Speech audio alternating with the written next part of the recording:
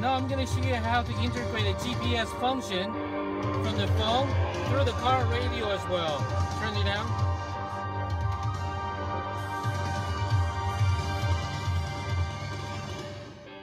Now let's go to uh, a GPS.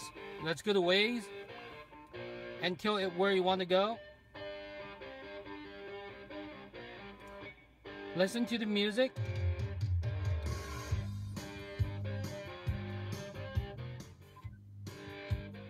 All set, let's go.